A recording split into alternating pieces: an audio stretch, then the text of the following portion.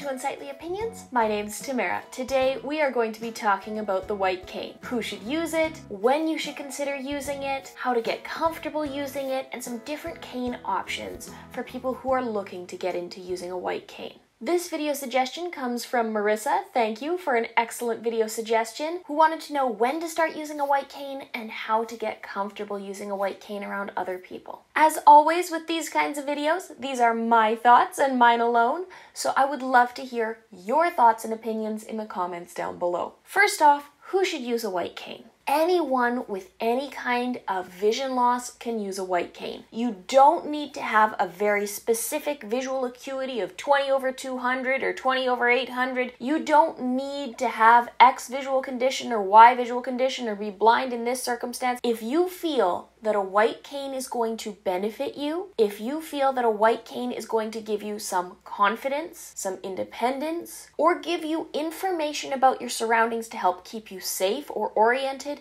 you should absolutely consider starting to use a white cane. All that being said, it is entirely a personal decision. Typically, the worse your vision becomes, the more likely it is you're going to need to depend on using a white cane for mobility reasons. But there aren't just mobility canes. There's canes for identification purposes as well, just to let people around you know that you have a visual impairment so you might need to do things differently. That does not mean that you need to use the white cane in the same way as other canes. Usually, identification canes are shorter, are only used in specific specific circumstances, are not swept back and forth, and are simply held in front of you. And if you choose to use a white cane, you don't need to use it all the time unless you feel that that's important to you. Some people might feel more comfortable using a white cane when they have less vision outdoors. Somebody might only choose to use their cane in unfamiliar territory, like when going to the mall or a movie theater. Some people may choose to use a white cane in specific lighting circumstances. Whatever your reasoning is, you can always choose to pull out your white cane and use it. I would encourage you to try it out, see if it helps, see if it doesn't. And if it doesn't, great, don't use it. And if it does give you some independence or mobility or information that you wouldn't have gotten otherwise, great, use it. When I started using my cane full time for mobility reasons, I can tell you I was incredibly self conscious about it. I didn't want to use it. I didn't want to get comments from people. I was concerned about standing out. I was worried about being othered. It really felt foreign to me. Now, being 20 years into that journey, it feels like an extension of my arm. I wouldn't go anywhere else without it. Because it's something new, because it's something that you're not used to doing, because everybody has these these beliefs about what a white cane is going to mean or what other people are going to think, it can really be challenging to want to use your white cane. When I started out, I didn't use it absolutely everywhere. I started out by using it in foreign environments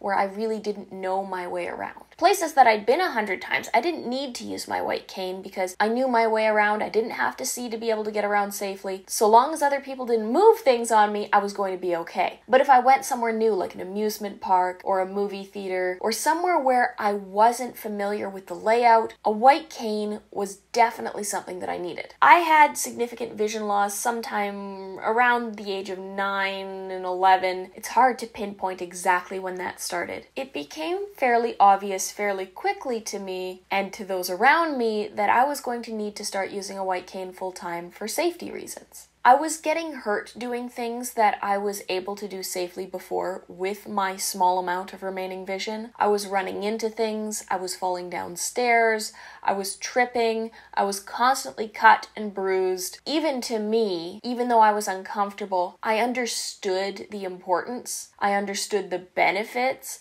of having something warn me before I was going to trip into something or fall down a set of stairs. There were several incidents in particular, one of which I've told in my other video talking about my worst blind accidents at the beginning of grade 5, where I not only ran into a pole, I fell down a set of stairs, I tripped in a crack on the sidewalk, I got incredibly bloodied and beat up just trying to make it around a school that I'd been going to for five years. That was a pretty good indication that my remaining vision and my tools and skills that I was using to navigate weren't working very well anymore. So, the catalyst for me starting to use my white cane was actually when I moved schools in grade six. I was in a new environment. There was another blind person in the school, so it wasn't something that was new or unusual to the students. They'd all seen that before. But I can understand the difficulty wanting to use it around people. I was nervous to start using it around my family because I wasn't sure what they'd think. I was nervous to start using it around my friends because I wasn't sure what they'd think. Overall, I didn't get any comments that I thought I was going to get about using my white cane. I'd get the odd question from somebody I knew saying, Oh, I didn't know you used a white cane. Why are you using that now? And I'd just say, I feel a little bit more confident using it because it tells me more about my environment. Even though I'm not completely blind,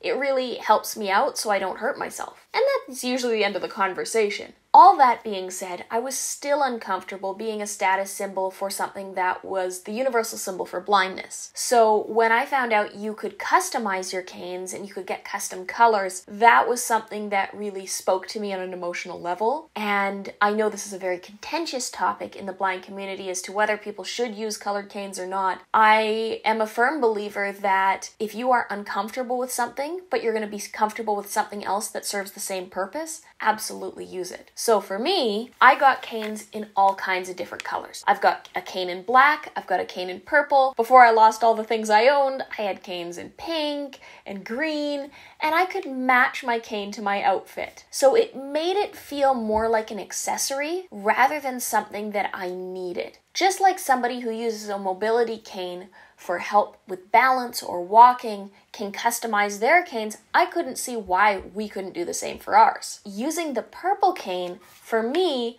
was an excellent excuse to try and make it more comfortable for me. I did get more comments from people asking about it or what it was for, but that didn't bother me as much because people weren't making assumptions about me. It's important to recognize your own insecurities about using a white cane, but it's also important to try and find ways to maximize your safety and maximize your independence. So, if using a colored cane is going to get you there more than a white cane, why not? There are many circumstances when a white cane is absolutely going to be what you need to use. If you need to be recognized as someone with a visual impairment, you should absolutely be using the standard universal symbol white cane possible red tip, and that way you're more likely to get the assistance you need for your specific disability. But for me in the day to day, I don't typically need help. It doesn't matter to me whether I'm using the universal symbol for blindness or whether I'm using something that's pink or purple or green or yellow or orange because they both serve the exact same function of helping my mobility. The next question people have is where do I get a white cane and how do I get training to use my white cane? First off, where you get a white cane is entirely up to you. Many organizations and services will provide free white canes. I'm fairly sure that the RNIB gives away free canes. I'm fairly certain that the CNIB still does one free white cane for your first white cane. I don't know about the resources in the States as well because I am a Canadian, but you can absolutely purchase a white cane on Amazon. My go to is always Ambutech for really high quality canes. I get the graphite cane because it doesn't stick together and I find it really really light and durable. And then the next question is going to be about tips. Tips are a very personal decision on your cane. There's all kinds of different options from wheels to balls to static to pencil tips, and each one is going to feel differently to every person. I personally choose to use either a rollerball tip or just a regular old marshmallow roller tip because I find they go over cracks much easier, but try out several things, try and go into a local blind organization and find something that suits your particular needs. In terms of getting training, I would check in with your local organization for the blind, your local disability rehabilitation center. They're going to be able to direct you to get orientation and mobility training. What orientation and mobility training does is it gives you the framework to know how to navigate safely in your environment. And it's not all about cane training. They can help you with all kinds of different tips and tricks to use your ears, to use your remaining vision with magnifiers, monoculars, binoculars, to help see things that you wouldn't otherwise be able to see and learn how to navigate your environment safely. I know there is typically a very long wait list. It can be very difficult to access services. So if you do want to check it out, I have another video talking about the basics of how to use a white cane, and I will link it in a card above and in the description down below. That's not a shameless self promo. I know it's something that a lot of people have trouble accessing, so that's why I made that video. At least with that video, it can give you the very basic tips and tricks of how to start using a white cane, a couple of the different techniques, how to use it in different circumstances, but I would absolutely recommend that you get professional training to use it safely.